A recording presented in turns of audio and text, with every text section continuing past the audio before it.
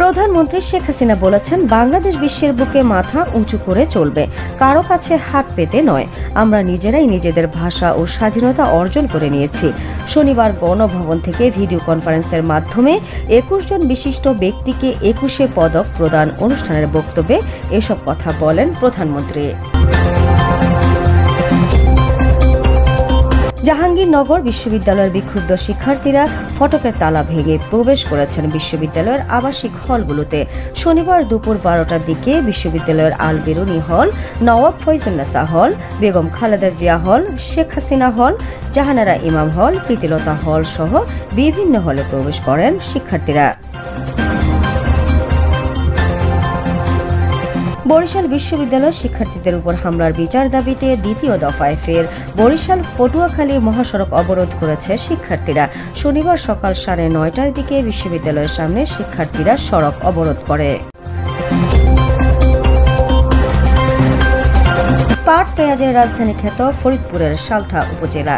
চলতি পেঁয়াজ মৌসুমে উপজেলার আটটি ইউনিয়নের প্রায় সাড়ে বারো হাজার হেক্টর জমিতে পেঁয়াজ চাষ হয়েছে। এই মৌসুমে বীজ উৎপাদন ভালো হওয়ার আশার আলো দেখছেন পেঁয়াজ চাষিরা। করোনা টিকা নিয়ে অনিয়মের অভিযোগ উঠার পর শুক্রবার পদত্যাগ করেছেন আর্জেন্টিনার স্বাস্থ্যমন্ত্রী। যারা উপযুক্ত নন, তারাও বিশেষ ব্যবস্থার মাধ্যমে টিকা নিচ্ছেন। এমন খবর আসার পর পদত্যাগ করলেন স্বাস্থ্যমন্ত্রী। শুক্রবার সকালে আর্জেন্টিনার প্রেসিডেন্ট কার্যালয়ে সূত্রে এই তথ্য জানা গেছে।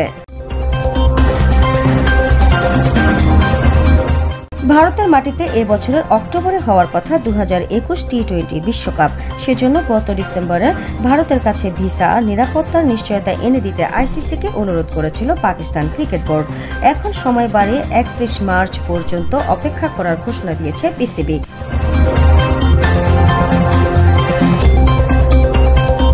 লাক্স তারকা হিসেবে দুই সালে শোবিজে পথ চলা শুরু করেন ফারিয়া শাহরিন। বর্তমানে আলোচনা রয়েছেন ধারাবাহিক নাটক ব্যাচেলর পয়েন্টের অন্তরা চরিত্রের জন্য। শুক্রবার রাতে রাজধানীর সোনাগাঁও হোটেলে এই তারকার বাগদান সম্পন্ন হয়েছে।